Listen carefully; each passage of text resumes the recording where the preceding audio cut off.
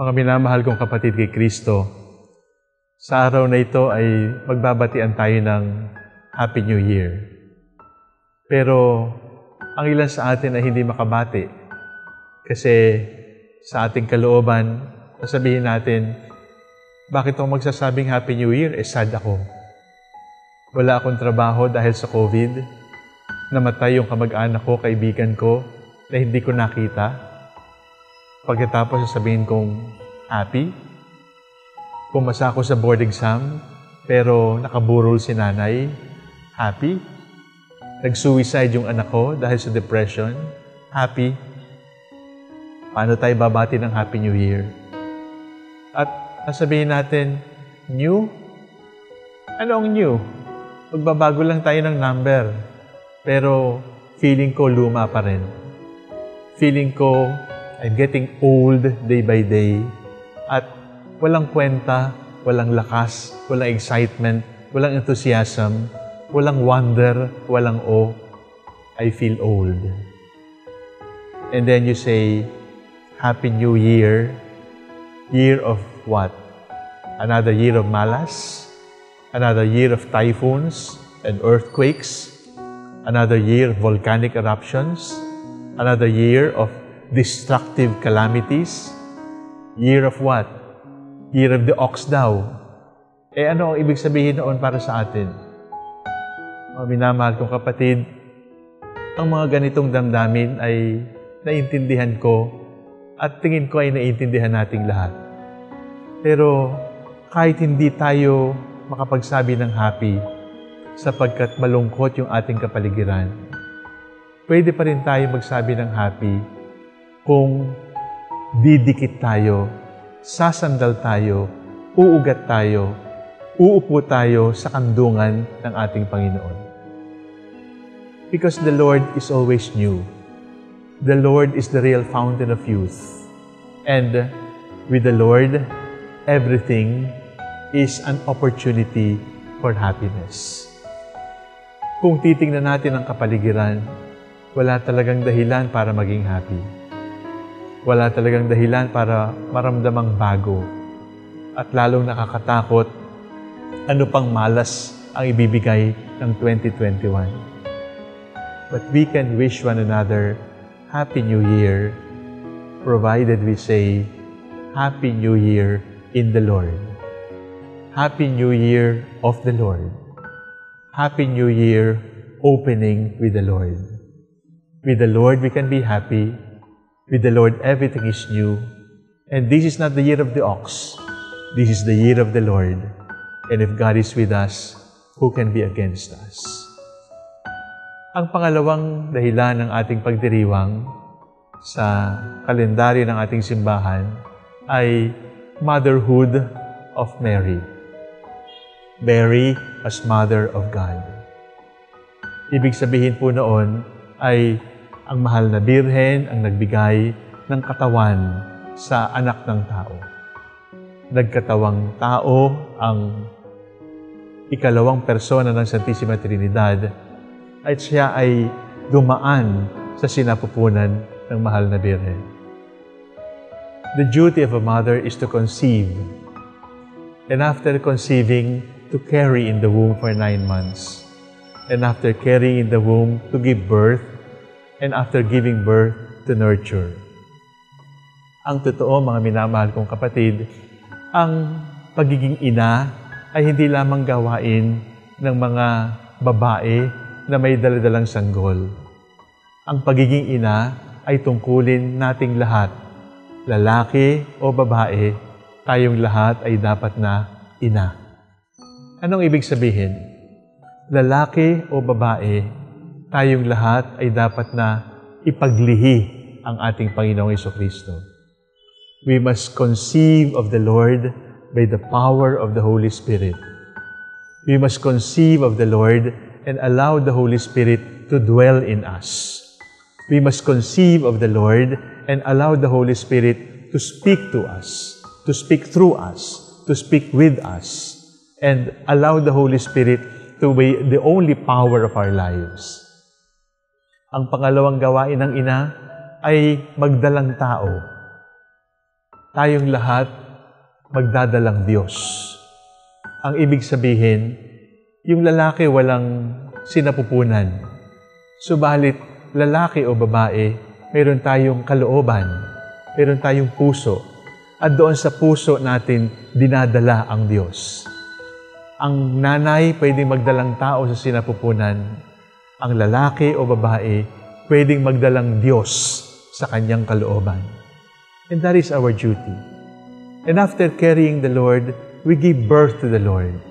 Ipanganak, lalaki o babae, pwede nating ipanganak ang Panginoon. Hindi mula sa sinapupunan, kundi sa pamamagitan ng ating buhay, sa pamamagitan ng ating halimbawa, sa pamamagitan ng ating pagtuturo ng mabuti, sa pamamagitan ng pagpapatawad, sa pamamagitan ng pagkikipagkapwa-tao, pagmamalasakit, pagsasabi ng totoo, paninindigan para sa katarungan. Ang lahat ng ito ay pagbibigay silang sa ating Panginoon. At sa huli, ang tungkulin ng nanay ay pakainin mula sa kanyang dibdib, mula sa kanyang sariling laman, ang kanyang sanggol. Pakainin natin ang Panginoon sapagkat siya ay nagugutom. Nagugutom ang Diyos? Nagugutom ang Diyos sapagkat ang Diyos ay pumili na ang mga dukha, ang mga naaapi, ang mga nasalaylayan ng ating lipunan, siya ang larawan natin. Kung nagugutom ang ating kapwa-tao, si Jesus ang nagugutom.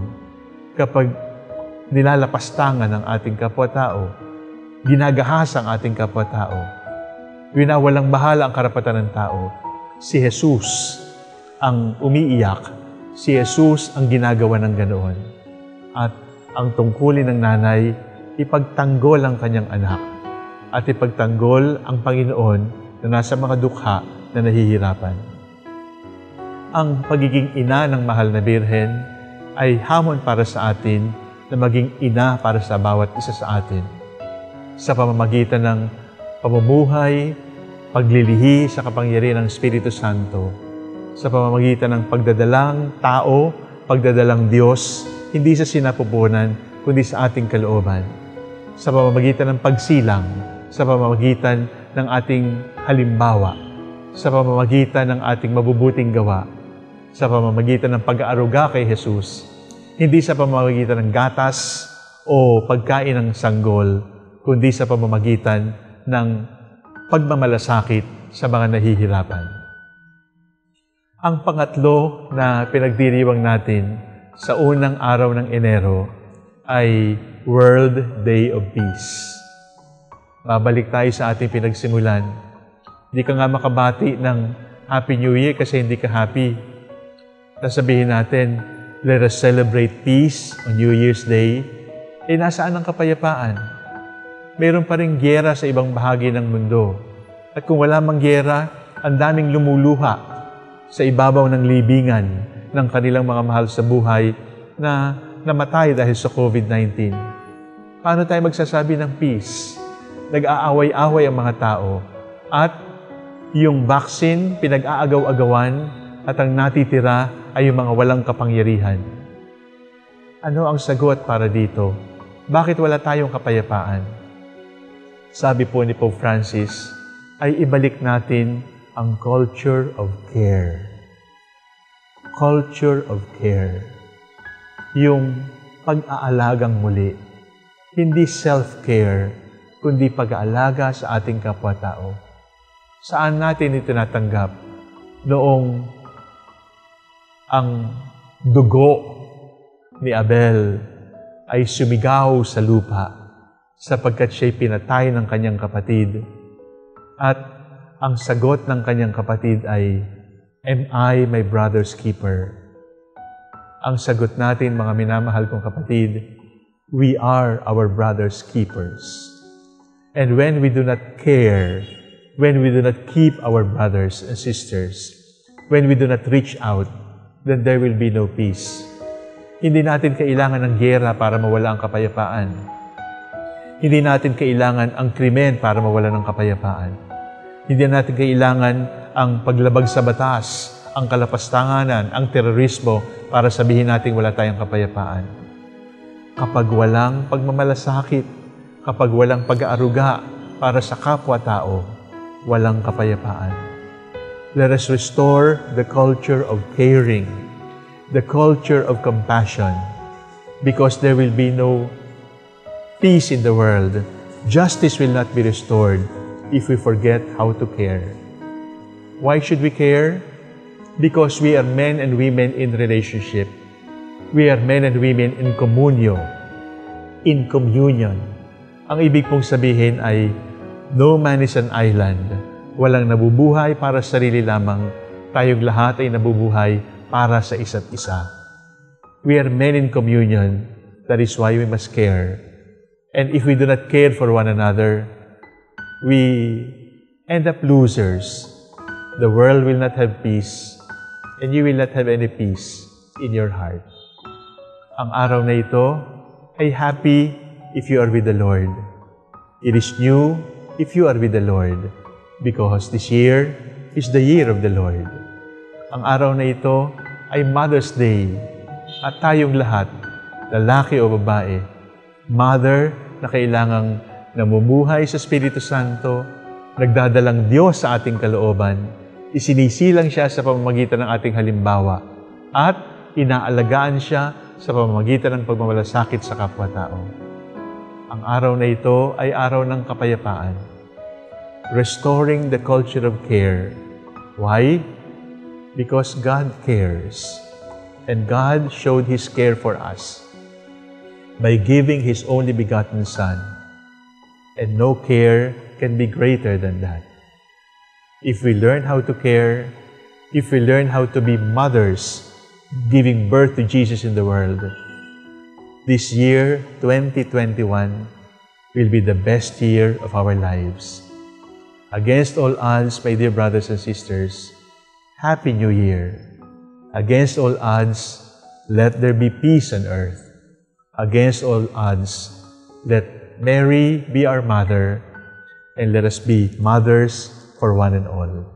Happy New Year, and may the Almighty God bless you, the Father, the Son, and the Holy Spirit.